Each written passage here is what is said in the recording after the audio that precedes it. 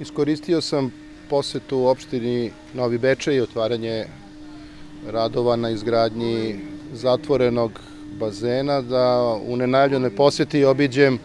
i ovde dom za stara i duševno obolela lica Sveti Vasilije Ostroški u Novom Bečeju zajedno sa direktorkom doma i sa predstavnicima uprave, a tu je i predsednik opštine Novi Bečej. Mi smo obišli gotovo sve objekte doma, ovde inače ima više od 460 korisnika koji žive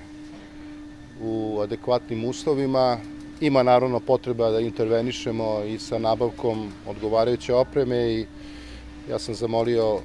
direktorku doma da popisuje, popiše sve ono što je neophodno i za nabavku opreme ovde u kuhinji koju smo obišli i za sve stacionare, a potrudit ćemo se i da u komunikaciji sa Ministarstvom za socijalna pitanja definišemo neke prioritete kada je reč o broju zaposlenih i o drugim problemima koji su u nadležnosti vlade Srbije. Jednom rečju, mi ćemo u narednih dve do tri nedelja na osnovu zahteva